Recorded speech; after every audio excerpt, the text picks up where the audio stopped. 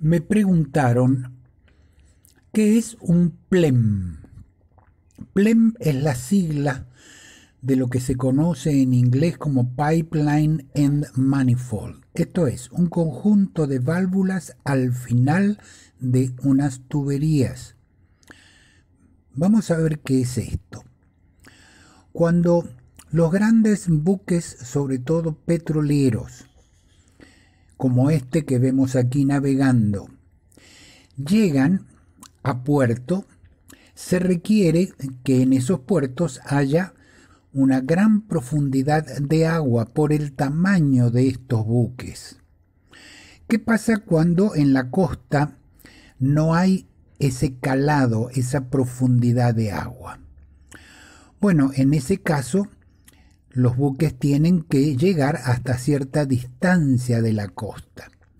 Para ello se instala una tubería submarina, va apoyada en el fondo marino, que va a suficiente distancia de la costa donde haya profundidad para que lleguen los buques. Allí se instala el PLEM, que es un conjunto de válvulas donde se conecta la tubería y desde allí se conecta otra tubería generalmente flexible que llega a la superficie y se conecta a una boya.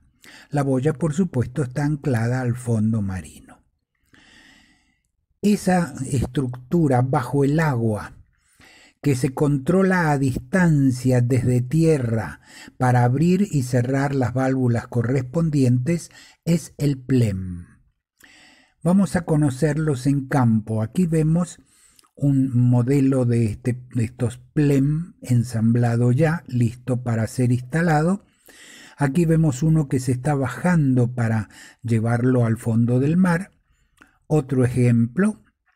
Finalmente, uno más pequeño, también con la misma finalidad. Claro, estas estructuras que van a ir en el fondo del mar deben estar muy protegidas contra la corrosión. Y eso se logra con una combinación de pinturas de alta calidad y de estas barras o ánodos de aleación de aluminio que son las que se usan para proteger contra la corrosión estructuras marinas. Este es otro ejemplo de un plen más pequeño. Podemos ver en la parte inferior donde se conecta la tubería que viene de tierra y en la parte superior un sitio donde se conecta la tubería flexible que va hacia la boya. También aquí podemos ver los ánodos de la protección catódica.